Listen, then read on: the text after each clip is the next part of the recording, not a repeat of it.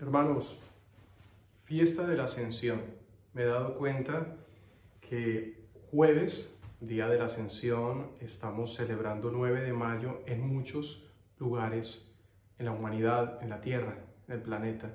Aquí en Francia se celebra el jueves de la ascensión y en muchos de sus países, los países de ustedes, de cada uno de ustedes también. También hay otra tradición en muchas conferencias episcopales donde eh, la fiesta, la gran solemnidad de la ascensión del Señor se ha trasladado al domingo por una razón pastoral, para que haya mucho más, mucho más eh, asamblea, para que muchas más personas puedan disfrutar de esta gran solemnidad el día domingo. Así que mm, nosotros tendremos la, el regalo de celebrar dos veces, porque vamos a celebrar el día de hoy junto con todo el pueblo francés y la, las arquidiócesis y diócesis francesas y el pueblo de Dios en Francia vamos a celebrar y con muchos de ustedes, porque muchos estaban diciendo mañana es la ascensión, mañana es la ascensión. Y una de las cosas que estuvimos hablando hoy en la misa, eh, voy a seguirlo tratando durante todos los evangelios, el, el, evangelio, el video que se llama Enamórate de Jesucristo, y es las antífonas propias del día. ¿Por qué? Porque tenemos un gran desconocimiento al respecto y mucha, gran parte del conocimiento de la Eucaristía depende del conocimiento del misal. Del misal y de las antífonas y, y de lo que constituye el misal como tal. Así que, ¿cuál es la antífona, por ejemplo, de entrada, canto de entrada, antífona de entrada en gregoriano o en castellano? Se podría poner música a esto. Todavía estamos esperando los compositores que lo hagan y que aparezcan rápido ¿Qué dice la antífona de entrada del día de hoy? Hombres de Galilea. Esto es de Hechos de los Apóstoles. Fíjense que todos los textos del propio de la misa son eh, de las Sagradas Escrituras. Siempre son un texto del Antiguo Testamento o del Nuevo Testamento. Aquí la antífona de entrada es Hechos de los Apóstoles, capítulo 1, versículo 11. Hombres de Galilea, ¿por qué siguen ahí mirando al cielo? Ese Jesús que les ha sido quitado y fue elevado al cielo, vendrá de la misma manera que lo han visto partir. Aleluya. Vamos con el Evangelio entonces el día de hoy. El Santo Evangelio, según San Marcos. Gloria a ti, Señor. Jesús resucitado se apareció a los once y les dijo, vayan por el mundo, anuncien la buena noticia a toda la creación. El que crea y se bautice se salvará, el que no crea se condenará. Y estos prodigios acompañarán a los que crean.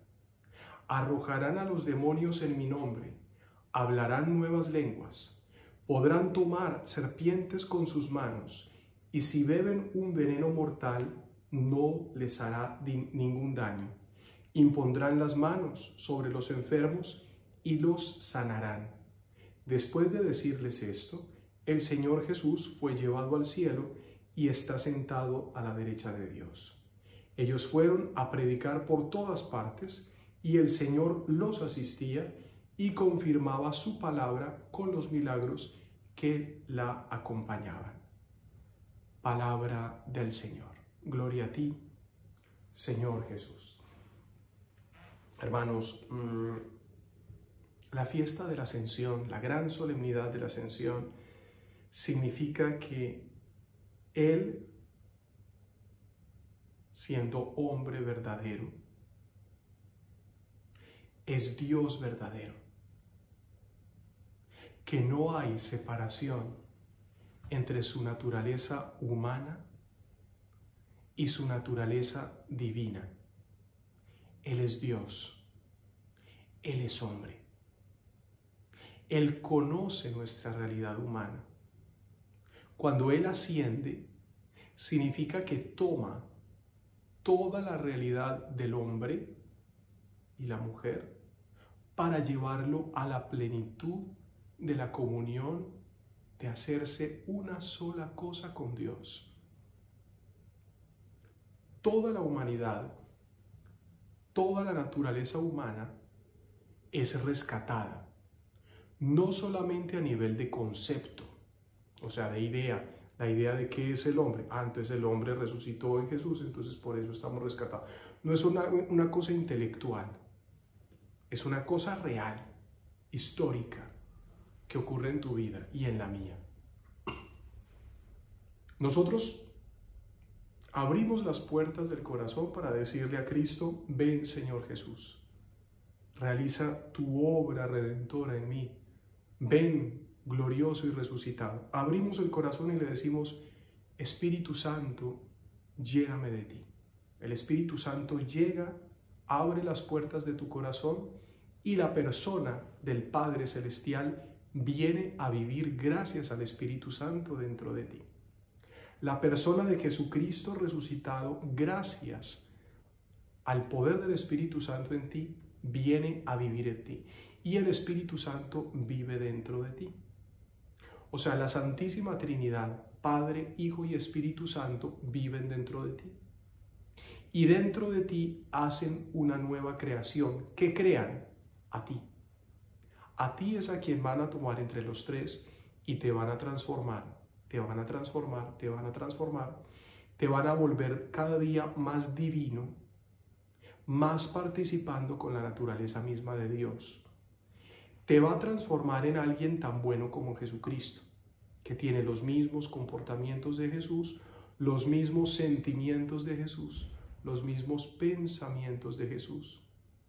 Que cuando tú veas el Evangelio, tú digas, esto es lo que yo tengo que vivir. Cuando veas a Jesús comportándose amorosa, misericordiosamente, perdonando, ayudando a los demás, saliendo de sí para ayudar a los otros, tú digas, esto mismo es lo que tengo que hacer. Esto es un proceso. Es un proceso que lleva tiempo. La conversión es un proceso lento y la acción transformadora de Dios es un proceso lento, donde tú, mientras más oración practicas, más te vas dejando transformar por nuestro Señor. Pero mientras más te vas dejando transformar, te vuelves cada día más semejante a Jesús, más parecido a Jesús, con la misma santidad de Jesús y comienzas a experimentar algo que es la vida eterna, la inmortalidad.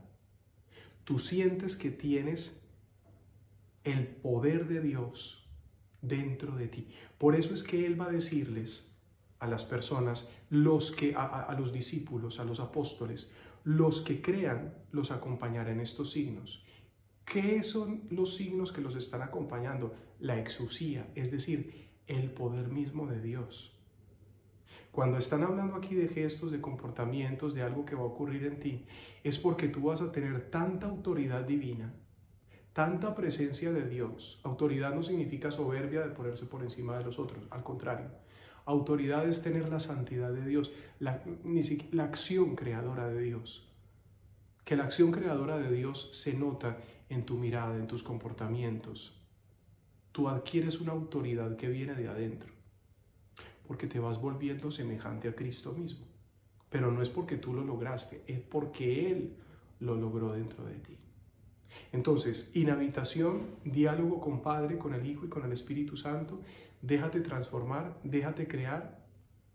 Y lo que ocurre hoy en la fiesta de la tremenda ascensión del Señor, tú también estás siendo ascendido a una dignidad a una santidad, a una inmortalidad que por ti mismo no podrías lograr. Pero como tienes una comunión y estás dentro de Dios y Dios está dentro de ti, te vuelve inmortal. Te regala su propia gloria para que la vivas humildemente diciendo, tengo dentro de mí el cielo, tengo dentro de mí a Dios. Bueno, es demasiado grande. Es decir, tu naturaleza es ascendida a su máxima dignidad, a su máxima naturaleza, a su máximo poder, a su máximo esplendor. Tú eres levantado con Cristo para llegar a ser Dios por participación, es decir, semejante a Cristo. ¿Qué dice, por ejemplo, la antífona del aleluya?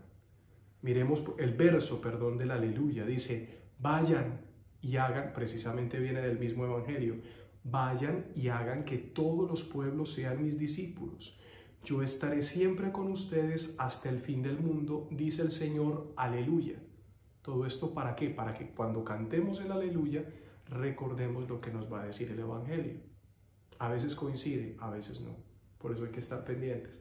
¿Qué dice la antífona de comunión propia de esta fiesta? Dice, yo estaré siempre con ustedes hasta el fin del mundo.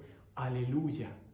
Y esa antífona de comunión está confirmando el misterio que hoy celebramos y el Evangelio que acabamos de proclamar. Fíjense que hay una unidad bíblica y una unidad festiva muy grande acá. Que Dios los bendiga, hermanos, en el nombre del Padre, del Hijo y del Espíritu Santo. Amén.